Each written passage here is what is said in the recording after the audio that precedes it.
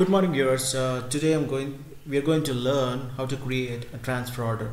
You can use two ways to get to the initial screen of a transfer order. One is a SAP Easy Access Path and, and the other, other one is using the transaction code in the command field. So let me show you the path first. SAP menu, logistics,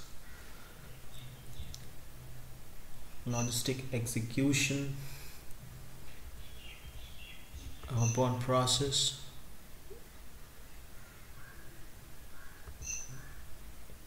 goods issue for outbound delivery picking create transfer order and LT03 single document. You can double click on this one using the mouse.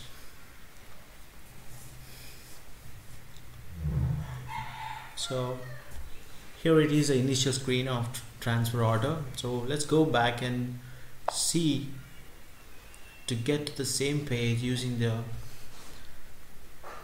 transaction code. So let's punch in LT03 into the command field and press enter. You'll come to the same screen again. Here you will enter the warehouse number plant and delivery. Warehouse number would be 010 is a predefined one for a thousand company and the plant thousand. And the delivery number is 800 15949 which I'm going to use now. So press enter after entering these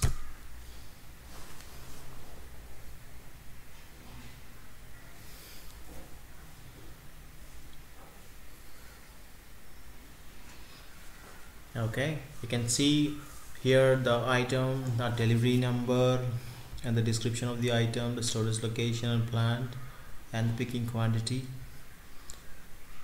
So once you confirm all these items generate TO your item. You can press F6 as a shortcut key for this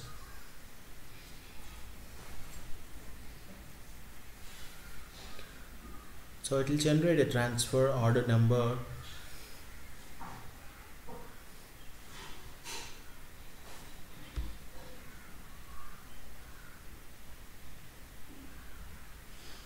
So once you click generate TO item press save.